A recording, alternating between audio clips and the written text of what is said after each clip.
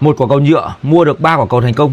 Tưởng đắt, nhưng hóa ra lại thành rỉa Cùng mình ra sân trải nghiệm quả cầu Mavic 300 của Yonex nhé.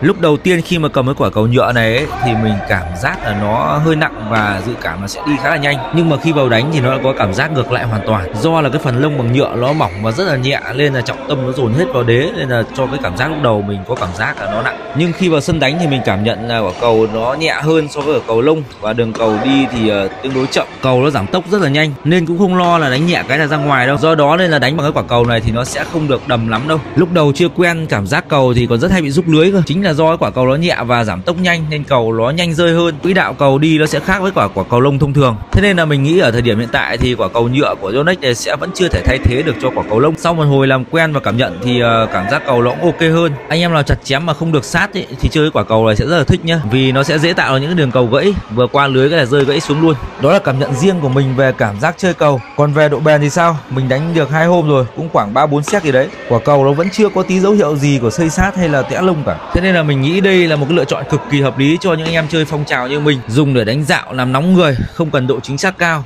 hoặc là để chơi dưỡng sinh, chơi tự do lấy mồ hôi, hoặc là dành cho các bạn nhỏ chơi ở ngoài trời thì cực kỳ là hợp lý luôn. Khoảng hơn 60 cành cho một quả nhưng lại có thể chơi được cả tháng. Thì có phải là quá rẻ không? Anh em mua cầu chính hãng, mình để phần đường link trong giỏ hàng nhé